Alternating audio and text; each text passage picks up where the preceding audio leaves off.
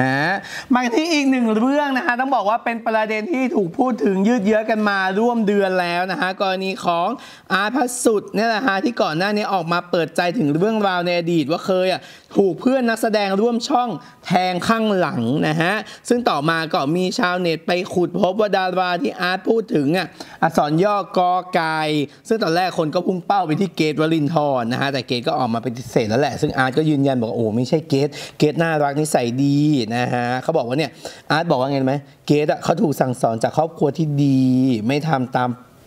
ไม่ทำตัวปากไม่ดีเหมือนคนที่คุณก็รู้ว่าใครแน่นอน อันเนี้ยคือสิ่งที่อาร์ตให้สัมภาษณ์ก่อนหน้านี้นะฮะ จากนั้นคนก็เปลี่ยนเป้านะฮะ ไปที่หมอกล้องสรวิทย์นะฮะ ซึ่งก็มีชื่อกอไก่เหมือนกัน แล้วก็เข้าวงการมาในรุ่นเดียวกันกับอาร์ตใช่ไหมฮะ ซึ่งก่อนหน้าเนี้ยหมอกล้องก็ออกงาน เขาก็เปิดใจด้วย ยอมรับนั่นแหละว่าคนที่อาร์ตพูดถึงอะอาจจะหมายถึงตัวเองก็ได้ ยอมรับว่าเคยมี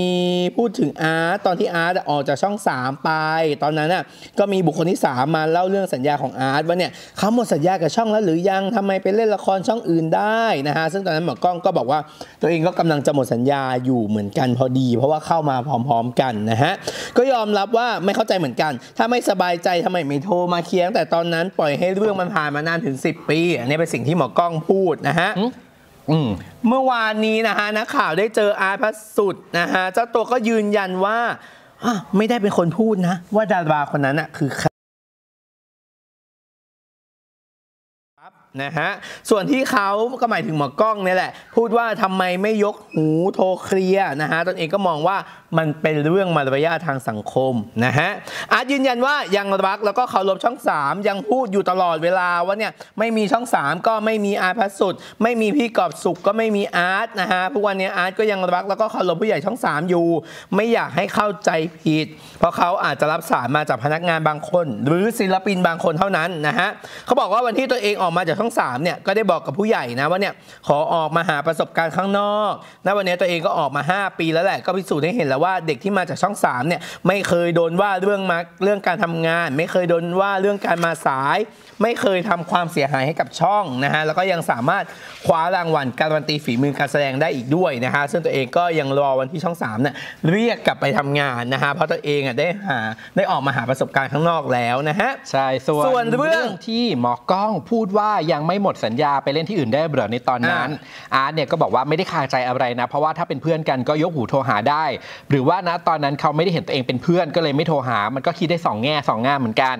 ซึ่งก็อยากจะบอกถึงคนที่พูดถึงตัวเองนะครับว่ายินดีให้อภัย ตอนนี้สวดมนต์ภาวนาให้อภัยแล้ว แต่แค่อยากบอกให้รู้ว่าคนที่ชื่ออาร์ตพระสุดเขาไม่ได้เซอร์ไม่ได้ซ่าไม่ได้โง่นะ ในสิ่งที่คุณพูดถึง ผมเก็บเรื่องนี้มาไม่ได้อยากทำร้ายใคร ไม่ได้อยากทำร้ายทั้งเพื่อน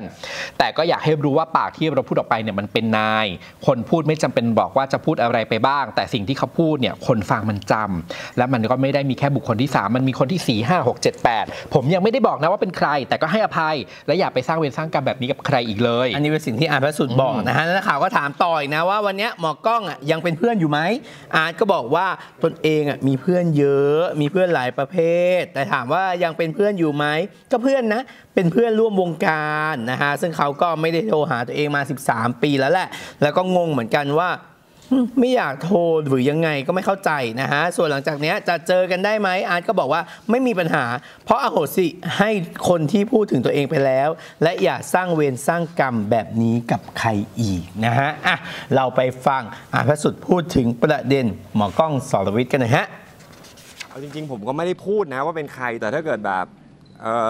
เขาออกมาพูดเองว่าเป็นเขายอมรับเรื่องนั้นก็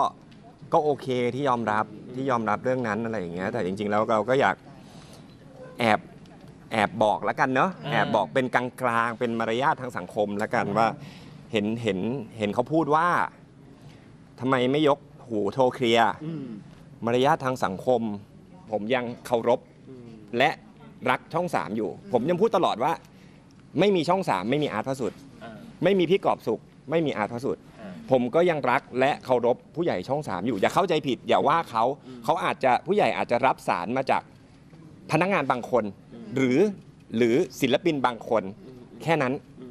และวันที่ผมออกผมก็บอกว่า ผมขอออกมาหาประสบการณ์ข้างนอกณทุกวันนี้ผมออกมาห้าปี ผมว่าผมพิสูจน์ให้เห็นแล้วนะ ว่าเด็กที่มาจากช่องสามไม่เคยโดนว่าเรื่องการทำงานอืม ไม่เคยโดนว่าเรื่องการมาสายอืมผมออกมาจากช่องสามผมได้รางวัลโทรทัศน์ทองคำหนึ่งรางวัลดาราสนับสนุนไทยจากเรื่องเนื้อในอืมของพี่ชอตอืมอันนี้ผมทำให้เห็นแล้วว่า คนที่มาจากช่องสามอย่างอาร์ตพระสุดอืมไม่เคยทำความเสียหายให้กับช่อง แล้วผมก็ยังรอวันที่ช่องสามเรียกผมกลับไปทำงาน แล้วผมออกมาหาประสบการณ์ให้แล้ว อืมแล้วเรื่องที่พี่ก้องเขาพูดนะฮะเอาใช้คำว่าสารภาพไปที่พี่ก้องครับเขาบอกว่าเขาเคยพูดถึงประเด็นพี่อาร์ตเรื่องนี้เรื่องเดียวอือฮึเรื่องสัญญาว่าครับ ยังไม่หมดมันไปเล่นได้เหรอ ครับ เรื่องเนี้ยมันคาใจเราไหมฮะ ไม่ไม่คาใจก็อย่างที่บอกว่าถ้าเราฟังถ้าการเป็นเพื่อนกัน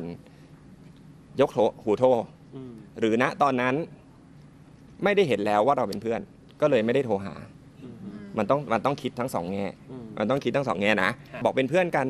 เอ๊ะแล้วทำไมไม่โทรเอออยากจะพูดให้คนที่พูดถึงผมละกันผมผมให้อภัยอืมคือคือตอนนี้สวดมนต์ภาวนาแล้วอะให้อภัยแต่แค่ อยากบอกให้รู้ว่าคนที่ชื่ออาร์ตพระสุดเขาไม่ได้เซอร์ไม่ได้ซ่าไม่ได้โง่ ในสิ่งที่คุณพูดถึงเราแล้วเราไม่ได้ยินอืมผมเก็บเรื่องนี้มาไม่ได้อยากทำร้ายใครอืมไม่ได้อยากทำร้ายทั้งเพื่อน หรือใครทั้งนั้นที่พูดถึงผม ไม่ได้อยากทำร้าย แต่อยากให้รู้ว่า ปากที่เราพูดออกไปมันเป็นนายอืมเมื่อคนคนพูดไม่จำหรอก ค่ะคนพูดไม่จำหรอกว่าพูดอะไรไปบ้าง เขาอาจจะจำได้แค่นั้นก็ได้ แต่ในสิ่งที่เขาพูด คนฟังมันจำอืมแล้วมันไม่ได้มีแค่บุคคลที่สามมันมีสี่ห้าหกเจ็ดแปดเออเขาไปนัดกันพูดมาเหรอเออนั่นคือสิ่งที่สิ่งที่สิ่งที่อยากจะบอกเออคนที่พูดถึงผมค่ะผมก็ยังไม่ได้บอกนะว่าเป็นใครเป็นใครผมก็ยังไม่ได้บอกนะ แต่อืมแต่ให้อภัยอืมให้อภัยแล้วก็อย่าไปสร้างเวรสร้างกรรมแบบนี้กับใครอีกครับสำหรับพี่อาร์ตนะคะพี่ก้องนี่คือตอนนี้วันนี้ยังเป็นเพื่อนอยู่ไหมฮะ อืมผมเพื่อนผมเยอะนะอืมเพื่อนผมเยอะนะ หมายถึงมีหลายประเภทมีหลายประเภท พี่ก้องนี่ยังเป็นเพื่อนอยู่ไหมฮะก็ก็ก็ก็เพื่อนอ่าอ่าก็เพื่อนก็เพื่อนก็เพื่อน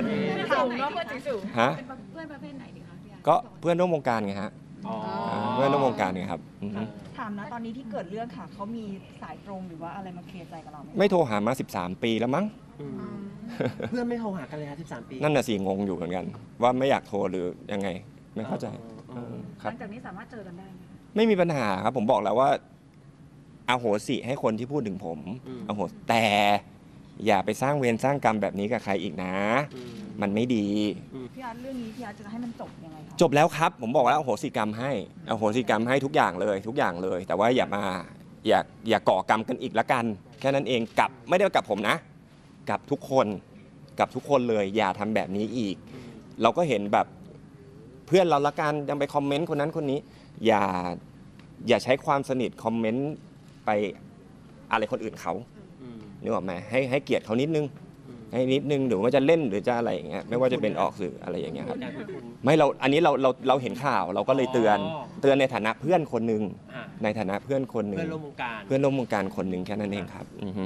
เอาจริง ๆ ผมก็ไม่ได้พูดนะว่าเป็นใครแต่ถ้าเกิดแบบเอ่อเขาออกมาพูดเองว่าเป็นเขายอมรับเรื่องนั้นก็